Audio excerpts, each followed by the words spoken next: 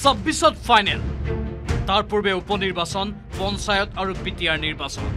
দুহেজাৰ পঁচিছৰ B T R নিৰ্বাচনৰ পূৰ্বে হ'বলগীয়া উপ নিৰ্বাচনৰ বাবে একশ্যন মোডত সাহসীয় বিজেপি। ছেপ্টেম্বৰ মাহত দেশৰ ঊনচল্লিছটা সমষ্টিৰ ভিতৰত অসমৰ পাঁচ সমষ্টিৰ উপ নিৰ্বাচনৰ বাবে বিজেপিৰ প্ৰস্তুতি তুংগ। অহা চাৰি আগষ্টত গুৱাহাটীত হ'ব বিজেপিৰ বৰ্ধিত কাৰ্যনিৰ্বাহক। তাতে প্ৰস্তুত কৰা হ'ব উপ নিৰ্বাচনৰ ৰূপৰেখা। তাৰ পিছতে বিহালী চামগুৰি আৰু ধলাই সমষ্টিত চূড়ান্ত প্ৰাৰ্থীৰ তালিকা সম্পৰ্কত ৰাজ্যিক নেতৃত্বৰ সৈতে হ'ব আলোচনা।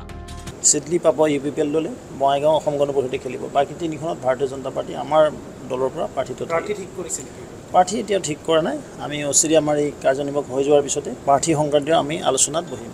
ইফালে উপ নিৰ্বাচনত পাঁচ সমষ্টিৰ ভিতৰত চাৰি সমষ্টিত বিজেপি মিত্ৰজোঁটে জয়লাভ কৰাৰ দাবী সভাপতি ভৱেশ কলিতাৰ।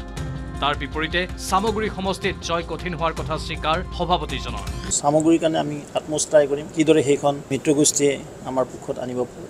ইফালে উপ নিৰ্বাচনক লৈ শীঘ্ৰে আলোচনাত বহিব মিত্ৰজোঁটৰ অংশীদাৰী দল অসম গণ পৰিষদ লগতে দলৰ বিষয়ববীয়াৰ সৈতে আলোচনা কৰি চূড়ান্ত কৰিব বঙাইগাঁও সমষ্টিৰ প্ৰাৰ্থী।